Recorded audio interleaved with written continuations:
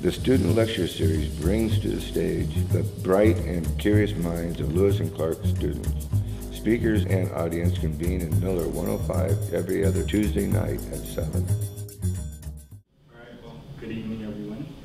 Uh, thank you very much for coming. I really appreciate it, especially regarding the whole presidential debate tonight and all that.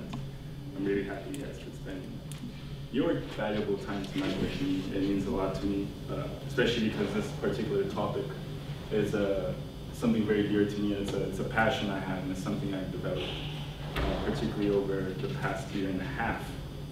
Um, before I continue, I just want to also just take a quick time and thank that guy over there uh, for the lecture series because I, I, feel, and I'm sure you guys would agree, that it's really important. And for those who have come to uh, ones before this, uh, you can appreciate the fact that you can learn a lot more from outside the classroom as you can from inside the classroom. So let's hope that uh, when this is done, I'd encourage everyone to you know, put pressure on the school and all that to encourage more of these talks and debates on a student-run level. Um, just to give you a little bit of background uh, regarding this topic, and uh, for those that don't know, SINO is a IA term used when describing China in relationship with other, with other countries. So specifically, this is the China-U.S. struggle for Mozambique's resources and the role of the young generation. Um, the reason for this passion really started, I'd say, about a year and a half ago. Um, and that was definitely when I was in uh, DC for the 2010 fall. And I had the pleasure of uh, working for the World Bank. And my responsibilities for the World Bank revolved around uh, me and myself and the second aide, we worked for uh, the regional director of food security for sub-Saharan Africa. And our daily struggles just came by with uh, flowery slideshows, and most of the time we just had to do a lot of paperwork for our, my director. However, this, from the other point, I was also able to see a lot of uh, the backdoor negotiations that go on, and the fact that the World Bank was covered with a lot of people who were very arrogant and were very staunch on their, on their scholarly work, and they applied their, their economics and their business savvy to countries that they'd never been to, or for example, didn't even know the primary language. Um, an interesting example was where um, Actually, I'll say this earlier. It's better that way. So just um, talking about what, what this presentation is going to do, it has two main, main, um, main objectives, and it's the misconceptions of the continent and the new dimension. When I talk about misconceptions of the continent, uh, I'm sure you guys know that there are a lot of stereotypes that go with Africa. I mean, from AIDS, you guys can just call them out, as you know, famine, Conflict. conflict, Poverty. poverty, exactly. So there are all these stereotypes, and truthfully, these things exist, and they're true.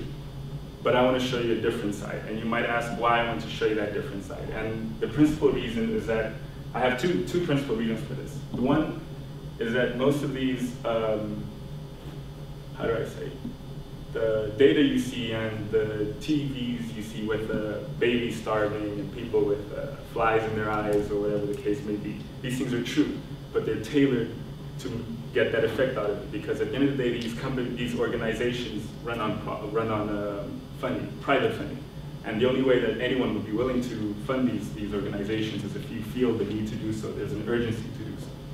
So inherently, uh, regardless of whether the organization is doing positively or negatively in a particular country, the way in which it gets its money and manifests, manifests its money is a bad thing because it portrays to the rest of the world that Africa is just a destitute, filled with conflicts, HIV, AIDS, etc., etc., as you guys just mentioned it.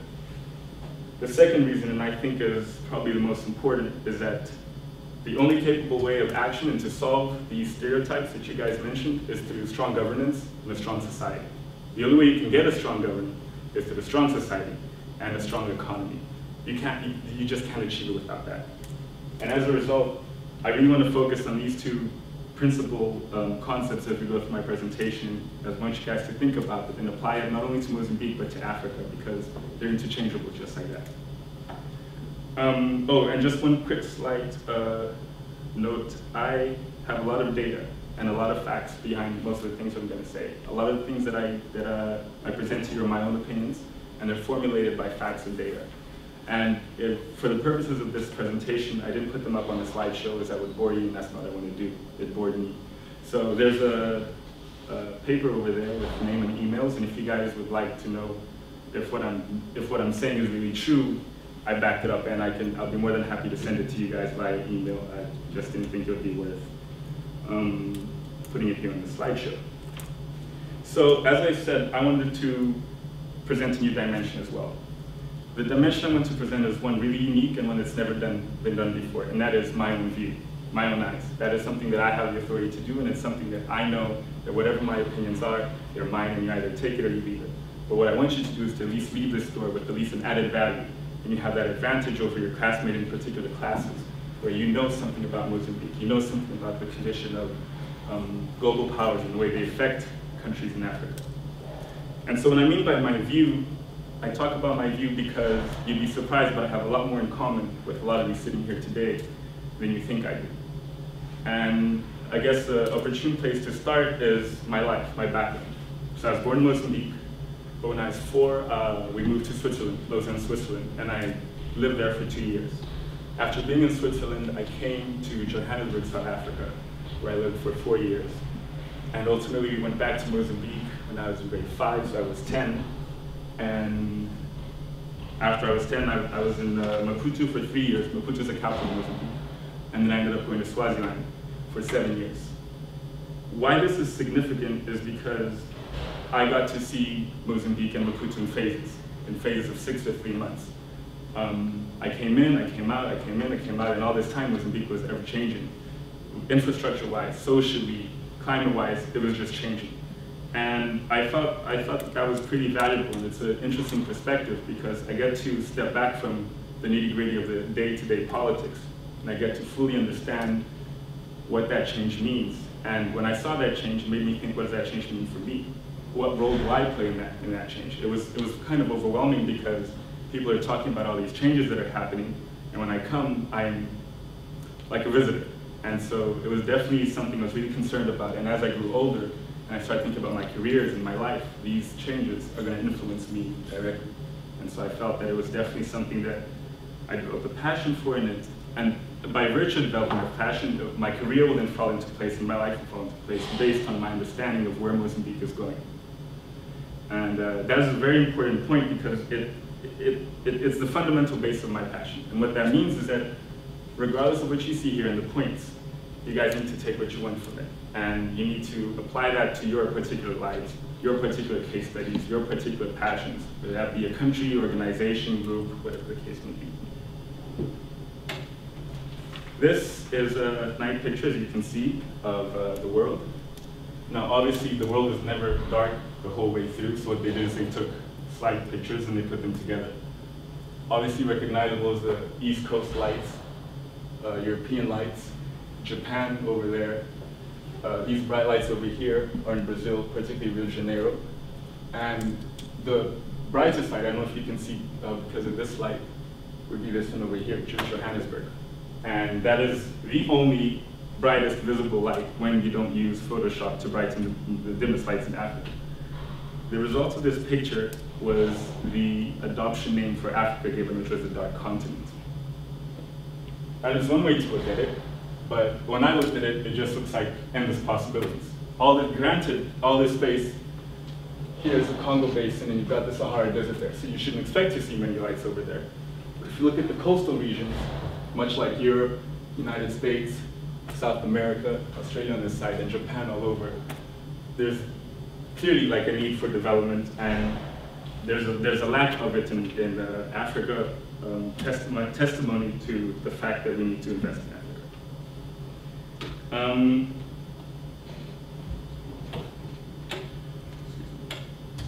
so you might ask why, why, why is it important to bring up Mozambique? Why, I mean, yes, I'm from Mozambique and it's advantageous for me to come here and talk to you about Mozambique, but there's, there needs to be a two-way thing here. You need to get something out of this too.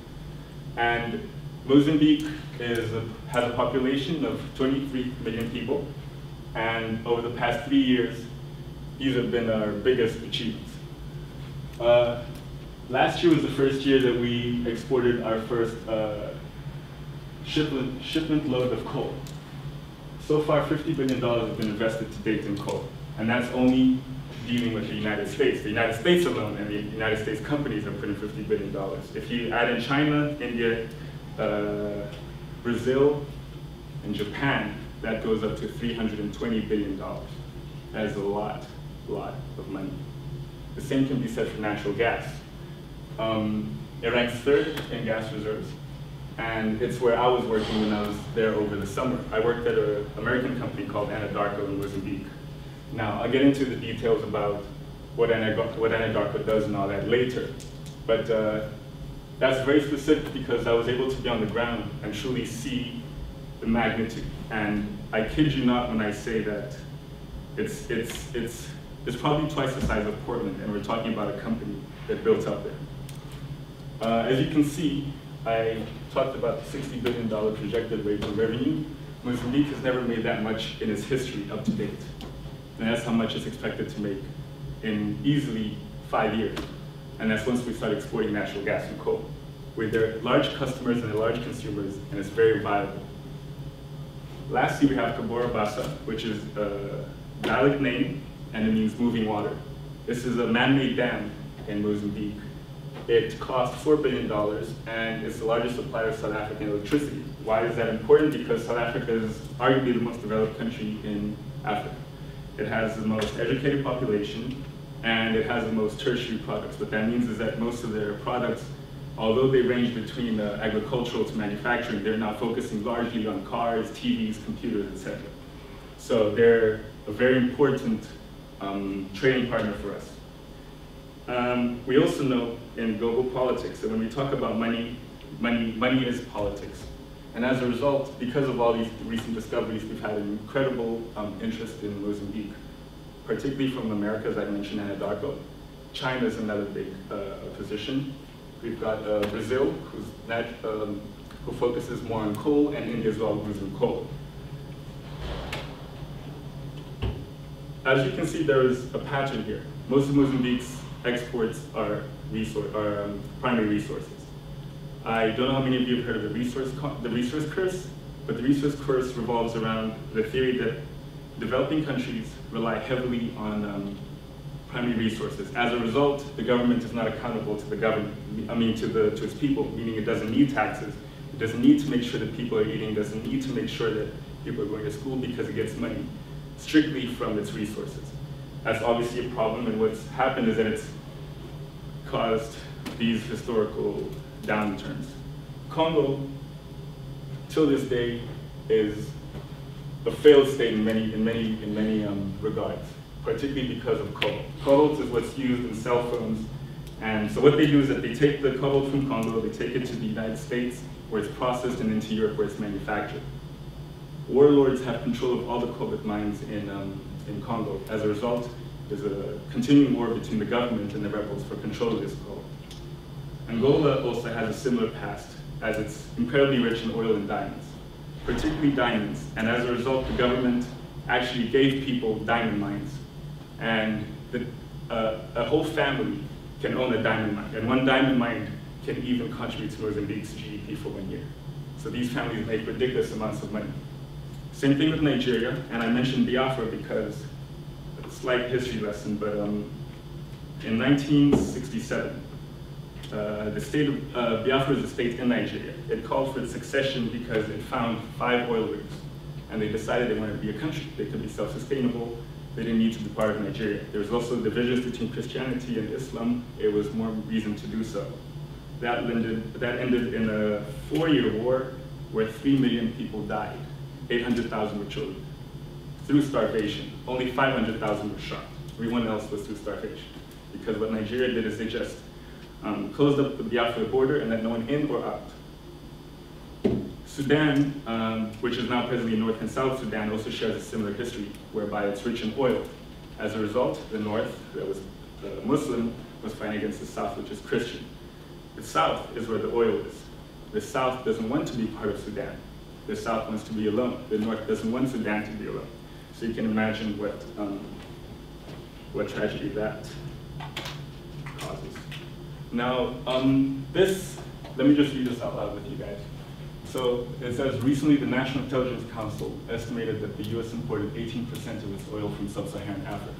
I'll just stop there. When they mean sub-Saharan Africa, they mean all the countries below the Sahara Desert. Almost the same amount as Saudi Arabia. This amount is expected to increase to 25% in the next 10 years. Africa offers diversification away from Middle East oil for both the US and Europe, and also access to new gas reserves. Um, I highlighted the importance of the, the phrase increase to 25% in the next 10 years, because that 25% is going to come from Southern Africa, particularly Angola, Mozambique, and South Africa. When you see that, when I see it as a Mozambican, for example, it makes me wonder what exactly does that mean? How a country, if the US is now incredibly interested in Mozambique, that means you're buying a larger stake in Mozambique. That means China's buying a larger stake in Mozambique. What does that mean for my career? What does that mean for my life? What we have is a resource-rich paradigm. Now this is a concept that, as far as I know, hasn't been, uh, or should I say these factors haven't been coupled like this. This came across to me when I worked at Anadarko in Mozambique. I was working in the north of Mozambique for six months. Anadarko is a natural gas company, as I explained. They have uh, companies all over, they have, sorry, subsets all over the world. Their biggest is now in Mozambique. They own 80% of the natural gas in Mozambique. Um, being, being in the company as a Mozambican was a very interesting um, experience because my bosses are American. They currently are and I'm currently working for Anadarko. It's an 18-month program. You, you're trained for 18 months in order to be on the field, in and out of the offices or whatever. So right now I was hired as an unofficial intern with the likelihood of uh, working for Anadarko. Well, anyway, through, through working with Anadarko, I was um, charged with heading a team of seven people. And these people, our responsibility was to look at the corporate responsibility that Anadarko had to its people. What it meant is that it looked at you know, health, it looked at education, all that, and made sure that Anadarko was playing its part with the government to make sure that its workers and the area were being self-sustainable.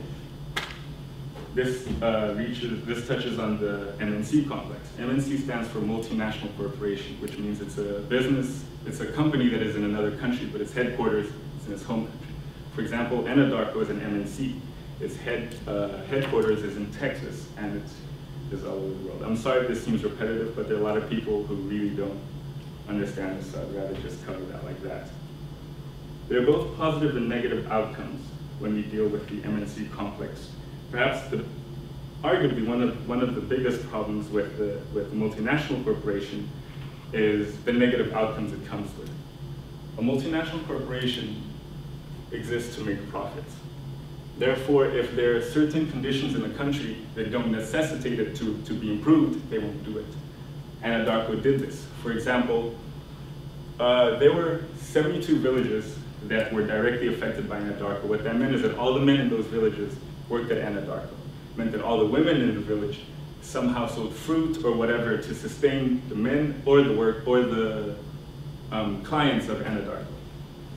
Um, as a result, we, there was this awkward moment where us as the corporate responsibility team had to go to our American bosses and say that you yourself are purposely avoiding these um, how do you say, responsibilities for the villages because you're trying to maximize your profits.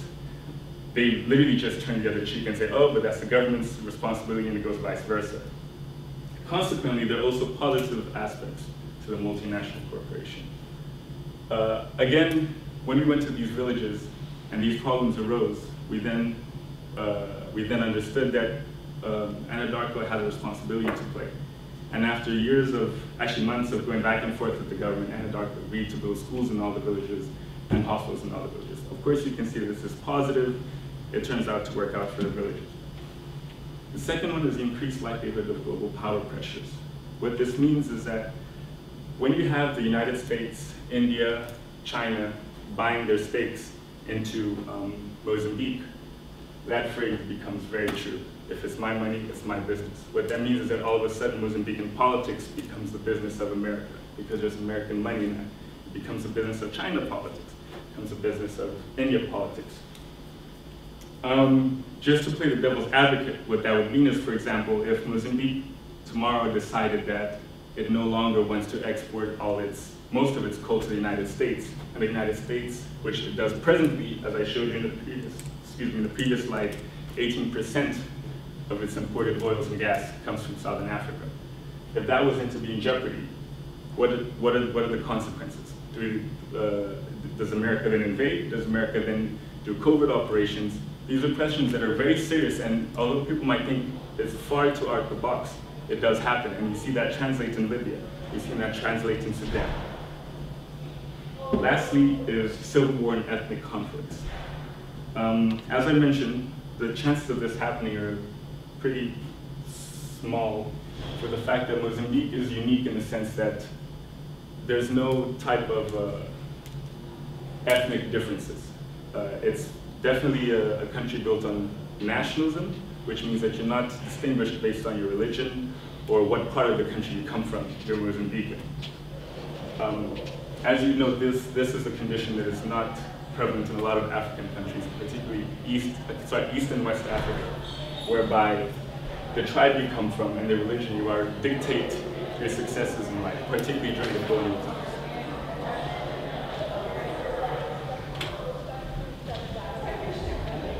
To get more into, into what I'm talking about, we need to understand what this means for me, what this means for you. And when I mean you, I truly mean like Kyle. I mean an American, an American citizen. I mean a non-Mozambican citizen.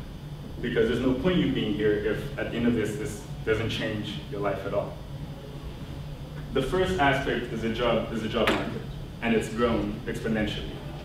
As a Mozambican, that's a threat to me. What that means is that I now have to compete with all of you sitting in this, in, this front row who are vying for the same jobs I want to. Uh, as a result, Mozambique is constantly playing catch up. We can't afford to then close our, gate, uh, close our borders and say, no, only Mozambicans are going to work at Anadarko.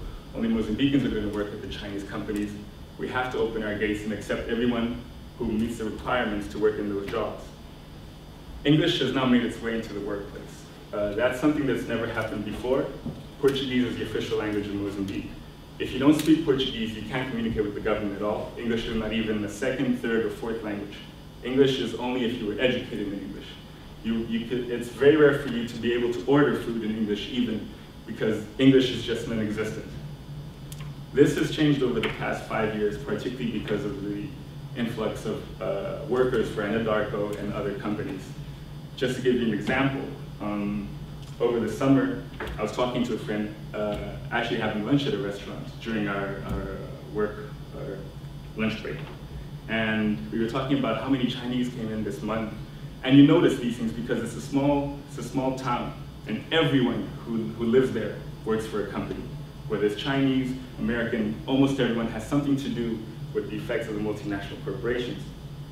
So we were sitting in this restaurant and we were talking about, you know, what does this mean? Does this mean, because we were talking about Botswana and the fact that Botswana has now have, now has recent xenophobia against Chinese.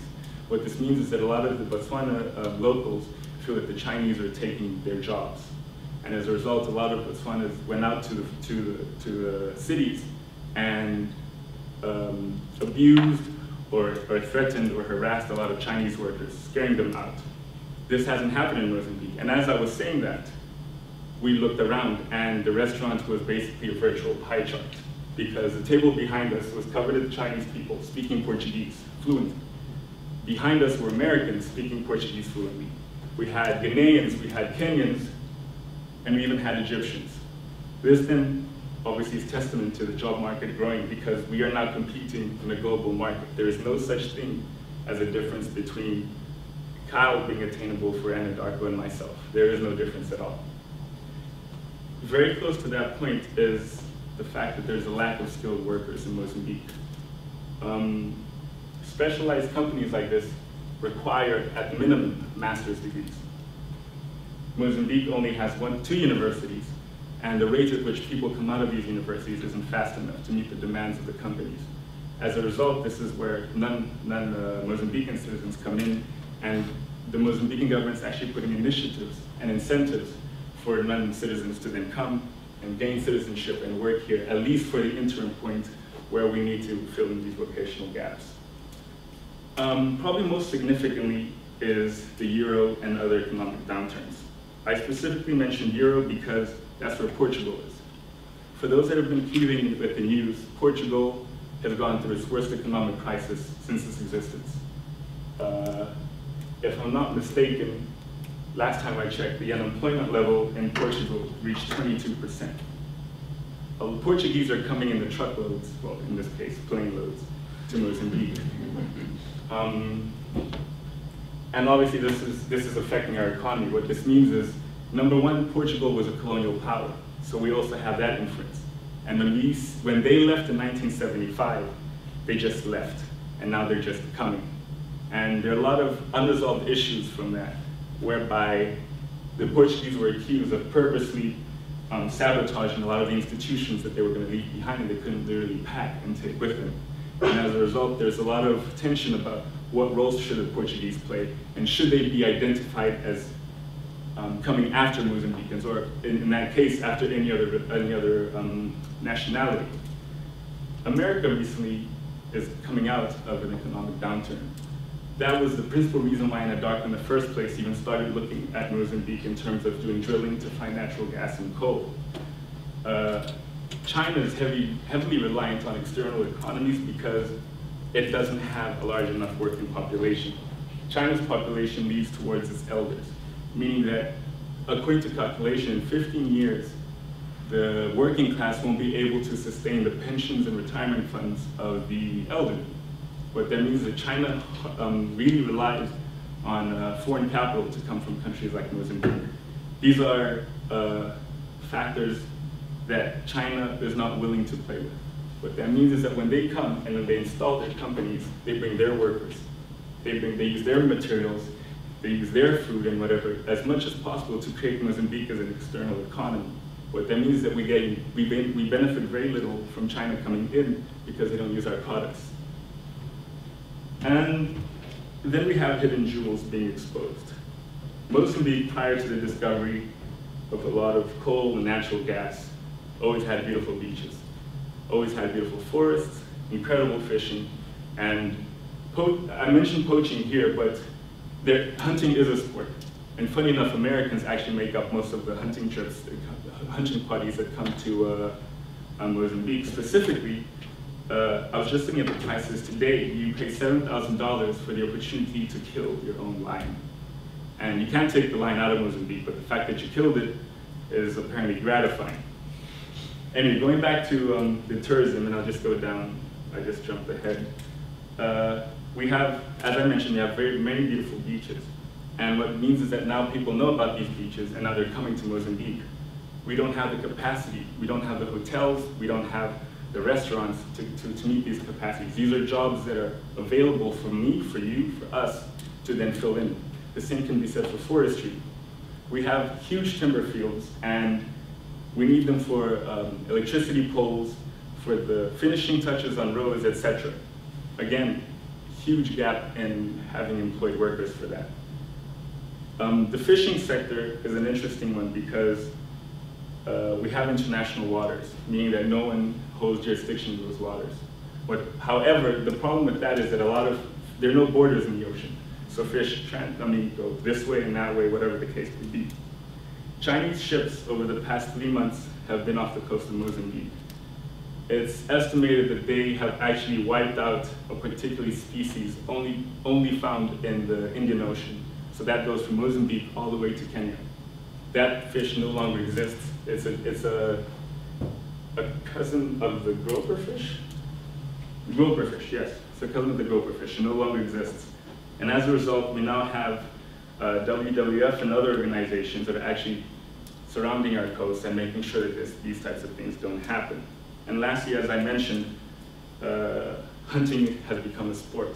And as we have more and more people coming to do this sport, we don't have enough cabins, we don't have enough laws and licenses to, to let them do this. And as a result, they result to poaching.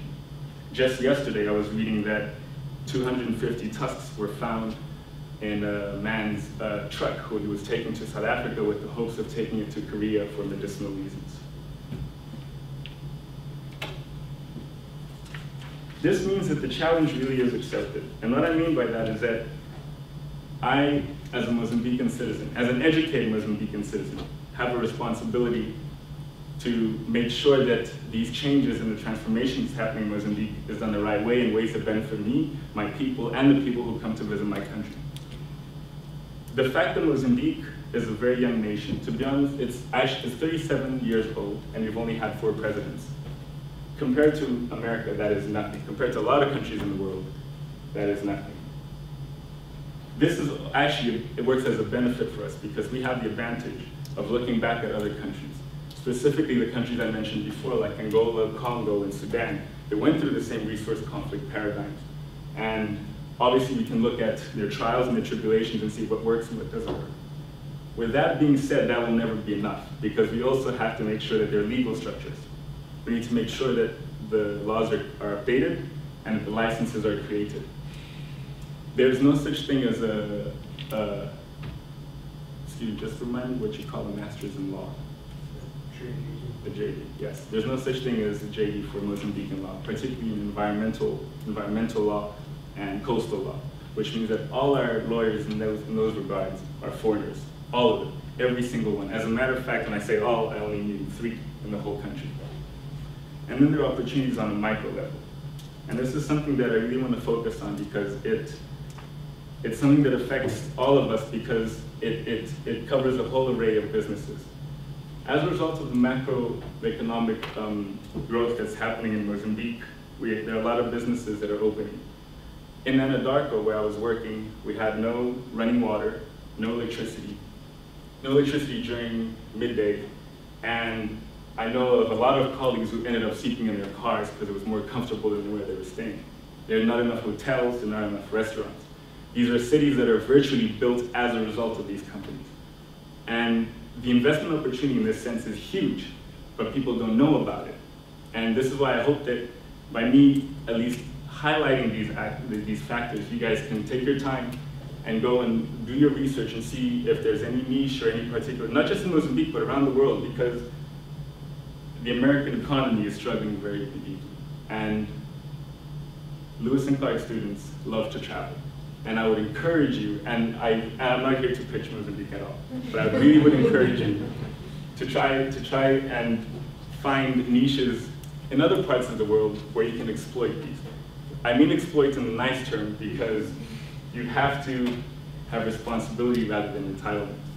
And what that means is that you need, we need to go to these countries very, very aware of the implications that, that we have there. Meaning that we, when we treat with the local workers, when we, when we receive salaries, we need to make sure that, that they're done the proper way.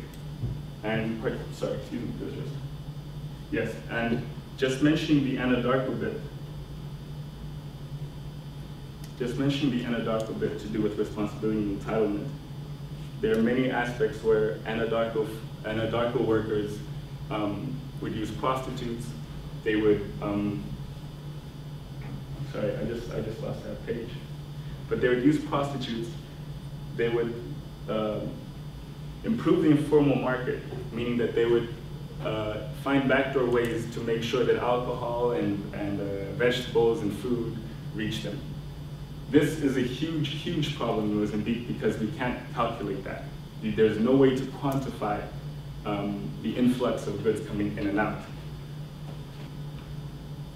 Just tracking back, what does this mean for us, an American student? I, when I was at the World Bank, there was a very interesting thing that happened, which was that we had to uh, work with Mozambican artists and try and create a, a time, a, a, window of opportunity for them in the United States. We went to many schools, we went to George Washington Georgetown University and introduced this idea of bringing Mozambican products into, into the United States. And then there would be an exchange of vice versa, of, of American students going into Mozambique, but in the uh, uh, professional, uh, professional sector. When we went to Georgetown, for example, half of the students didn't even know what Mozambique was.